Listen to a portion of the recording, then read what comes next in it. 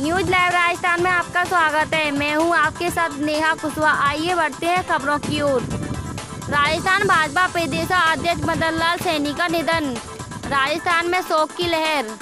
राजस्थान के प्रदेश अध्यक्ष और राज्यसभा सांसद मदन लाल सैनी का सोमवार शाम को निधन हो गया।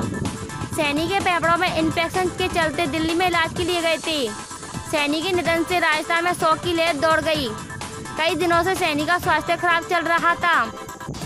मदनलाल सैनी शुक्रवार को दिल्ली के लिए रवाना हुए थे। उनका वहाँ एम्स में उपचार चल रहा था। हाल ही में मदनलाल सैनी के फेफड़ों में इन्फेक्शन की शिकायत सामने आई थी। बता दें कि तबीयत ज़्यादा नासाद होने पर मदनलाल सैनी को मानवीय नगर स्थित एक निजी अस्पताल में भर्ती करवाया गया था, जहाँ उनका उपचार चल रहा था। मदनलाल सैनी ने 13 जुलाई 1943 में सिकिर में हुआ था। जनसंघ के समय राजनीति में सक्रिय थे। सैनी जुजनू के गुड़ा उदयपुर बाटी विधानसभा से विधायक भी रहे। दस, दसवीं कक्षा में ही हो गई थी शादी। मदनलाल सैनी की पत्नी पतासी देवी ने पत्रिका के दिए एक साक्षात्कार में बताया कि जब सैनी दसवीं में पढ़ते थे तभी उनकी शादी हो गई। शादी के बाद में ही एम ए व वकालत के पदों पर रहे। घर से ज़्यादा पार्टी को समय दिया।